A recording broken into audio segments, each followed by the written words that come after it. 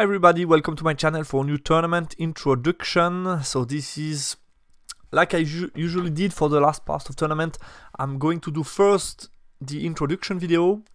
After that, the couple of practice game that I played before WTC. And then after that, the battle report of WTC. I think it's much better instead of what I was doing before, meaning doing practice game battle report first, then tournament introduction, but uh, you already see the list a couple of games, so it doesn't mean the same to explain you again the list. So I thought I might as well just explain you the list and information regarding WTC before, and then after that show you practice game and then the battle report. So I hope it's fine for you. Uh, maybe about the funny cover that I put on the video, something that our captain uh, Xavier did before the event. So basically this is me, this means in English Hereford is not ready. So uh, Hereford is not really in Hereford anymore. I need to, to tell that to my captain. It's melee. But uh, yeah, it was just meant to be, to be, he did that to be funny with all the faces of all eight players from our team. Uh, I found that quite funny. So I decided to to show it here. Uh, basically, who are our player in the team? We are a five member of last year ETC team. So there is obviously myself, uh, Andy. Um, it's, it's, nice to be on a female body. so we have Handy, Xavier, our captain, Coco, and Dim over there. And then we have three former ETC Switzerland player. We have Pulps, uh, Aurélien, and uh, Thomas. So this is our team for this year, WTC Switzerland 1 couple of information on the tournament. So this is eight player per team, as you understood. So very similar to w to ETC, and I think this is, in my opinion, the best type of warm up for ETC that you can do, like four months before ETC with competitive teams from a lot of countries in Europe. So this is definitely going to be very interesting as a test to see how you are, or ready you are for the summer and so on. National teams similar restriction to ETC, max 2 mercs are authorized. 4500 points armies with tournament rules and a slight exception to what we do usually supplement armies and supplement army books are valid. So not the same. I think there is a vote at the moment for etc this year but last year it wasn't authorized. Basically the supplement giant for example or hobgoblin stuff like that weren't authorized. And here in this case uh, Fred the organizer decided to to allow them. Yeah understand uh, I think there are both pro and against uh, argument for that. Uh, no need to debate that. Uh, I think it's uh, it's free as an organizer to decide that. As you can see 8 team 8 player per team and 20 teams makes a lot of tables. So here you can see the organization between uh, three rooms. I think it's quite cool to see that the row number one has an independent uh, room for themselves to be uh, yeah all together. Will be a cool feeling. And then you have row 2 3 and the rest in the big room so interesting uh, looking forward to see all these rows all these tables all these players all these miniatures. Definitely going to be uh, an highlight of the year. And then another aspect is that's not the thing that I wanted to show you it's the other table because basically it put in advance what kind of secondary objective we play. There is four of secondary objective that we play each round, meaning it's defined in advance.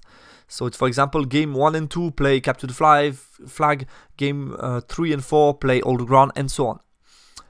And then you have also the table that are fixed with deployments. So for me, not a problem at all because you have all of them. So with the random during the weekend, you shouldn't play every time the same type of deployment and table.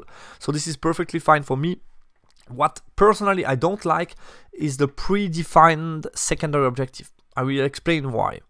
If you have a look at secondary objective when building your list, you see that capture the flag is huge for the balance of the list. And in this case, you could basically put a high amount of scoring in your list. If you have to play all scenario like it's the case at ETC for example last year, it's everybody plays the same type of secondary objective each round. So you know that at some point you're going to play captured flag, and if you have 20 flags, at some point you're going to lose a secondary like automatically. So you have to keep that in mind somehow that one of your game might be more difficult if you have too many scoring unit. In this case, you could potentially spam completely the number of flags of scoring unit and then just avoid capture the flag in five games because basically in each round you can you have three other secondary objectives that you could play on. So basically, it is not impossible to avoid completely capture the flag if you want to. Which personally, in my mind, th that's how it was. A couple of years ago, I can remember that our dwarf player Paul had like an ETC where he played like uh, three or four game on breakthrough because he had like dwarfs with a lot of miners and it was his favorite scenario so he was very happy about that but i think for the balance of the list it's for me it's much much better when everybody plays the same secondary objective.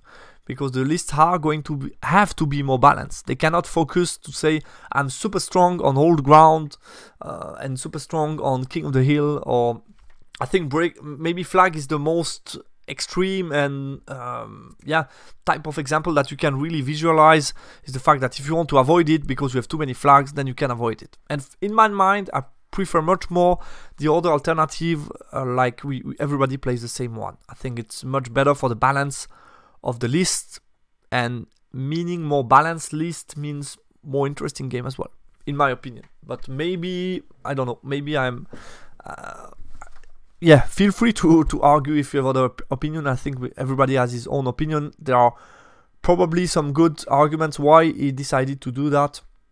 Um, it's quite cool maybe to to have this additional component to take into account during the pairing process, making the pairing harder, rating of the matchup as well, because you have to take into account when you put a rating of the matchup am I going to yeah it's it's a huge difference sometimes between a breakthrough avoidance or old ground for example. So you cannot say okay I'm going to win 11 uh, it's completely different between these two. So maybe he wanted to bring this additional factor. I can see that but in my opinion it would be better the other way around but that's just my opinion it's and and it's also a detail it's no big uh, big big deal on my list so I did like I usually did a small video of the miniatures. So I'm bringing back my old miniatures. Why? Because I'm taking a plane and I'm getting nervous to fly with my beautiful Ogre Khan pirate army. So I prefer to bring back the old miniatures. And yeah, I love vintage uh, GW. Not that old because Ogre Kingdom were an old army on GW. But yeah, it just bring me back to memories when I painted them. They were my first army, so it's always nice to bring them back sometimes out of the shells. So basically it's more or less the same army that I played at Bellum Lacum. I wanted to try them out in a meta where we are team of 8 and not team of 4, just to see how good or viable is this list. I'm quite uh, convinced by the fact that this list is solid enough, enough and also uh, suits me well. So I wanted to try out to see how it goes at WTC. But basically what I changed from Bellum Lacum is with, with the couple of points that I won, I was able to fit a standard with Banner of Discipline on one of my darts in core. I didn't want to take uh, some musician. I prefer to have one scoring that could be independent. I saw that in most of my game, my games, I would have liked to have an independent scoring that would be fine on their own leadership, and I think now it's the case. So I felt that was, um, yeah, helpful and then what I change, I put another a standard and another header icon on the Merkvats to have MR3, which is much better. And I had 5 points left to put a Nog crossbow on my Great Khan. That's basically it. The rest didn't move at all. It's the same list. So I'm looking forward to see how it goes um, yeah, I think the I'm still quite happy about how some unit in the army looks like. Obviously, it's not perfect. It's not. I didn't spend a lot of time to paint them, but the Merkvats still look cool and quite beefy. The character look cool. Uh, the only thing that annoys me a little bit is the fact that this giant is not looking the same as the rest because it was borrowed from my other army. Because I didn't have at at the time the giant weren't ma mainstream, so I didn't had a giant model to fit with this army, but yeah, it's not a big deal. At least I have a model to represent. We have the round one pairing um, here shown. So interesting for us, we got Denmark, um, what looks like to be the team number one, I guess, since I recognize some of the ETC uh, player from last year. But what I felt when I look at all the teams, I don't think there is a full ETC team in any of the country, I guess. I think most of the teams are in a similar case to us, basically, that not all the ETC players are available and therefore you need to have some replacement. But I'm sure that we will have some very strong team here with a couple of countries represented here, which is nice because it's a good occasion to, yeah, basically face some meta, some players that you are not so used to, and I think it's um, it was that's the way I see it, a unique occasion to train for ETC and be ready for the summer. Uh, in my opinion, I didn't see a huge clash of two favorite for the event at round one, to be honest. Um, yeah, and then some conclusion on that. So, like I wrote on the forum, I've been playing three training game before WTC.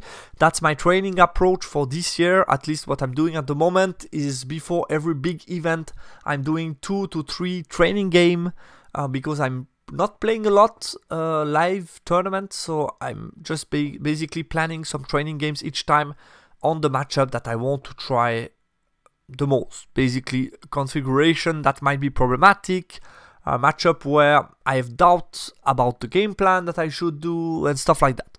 So what I picked this time, uh, I picked a VS army that was playing with tunnels, a lot of beef on the table, a Doomblade on Spoil of War. I thought combination between tunnel and Spoil of War could be very problematic to face because if you can pop scoring unit on Spoil of War, it could be very hard to, to deal with, so I wanted to try that out to see what is the potential of that.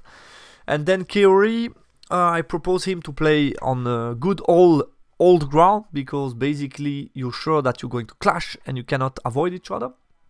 Um, he had a list that I was eager to face because yeah, a couple of uh, strong character build, uh, some flying minis, some cavalry peasants, uh, so definitely also very interesting to do. And the last one was live on the table against my uh, good opponent, Lichmeister, playing his good old VC. Uh, he was he has a very solid list, like with four pieces of chaff, two times eight cast, a chariot, um, range reapers, strong magic. So definitely not an easy list to break. Also wanted to see if my uh, striking potential was good enough to engage in combat safely and get some heavy points and we decided to play again all the ground because it ensures that there is a clash in the middle of the board. So that's the three training games that you're going to see as battle report on my channel soon. And then after that, obviously the five uh, tournament game from WTC and at the end, a conclusion video. Also what I'm trying to do, I don't know yet if it's going to be in French or in English, but some maybe short live video from the tournament would be cool. Uh, I personally love it when other YouTubers do stuff like that, short video to just show us the room, show us the atmosphere. I feel like I was there, so I would definitely like to do something like that. I don't know exactly on which channel, if the Wi-Fi will be good enough. I hope so, since the location is good, should be okay, should, shouldn't be a problem. But uh, definitely I will try to do something about that. So that's it guys, um, I hope you liked the introduction video and I'm really excited to show you the other battle report and to exchange with you about what happened in the battle report and stuff like that and also obviously very excited to go to this WTC. That is going to be amazing because it's organized by Fred and when Fred organizes something like that you know that's going to be a, a great event. It's, always going to be a success.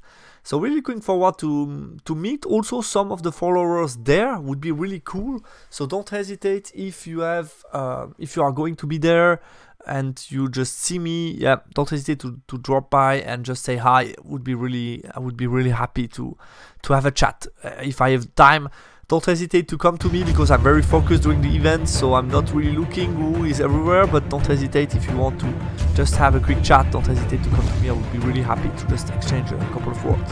Thanks a lot guys for watching this video, I'm looking forward to show you the rest, bye bye.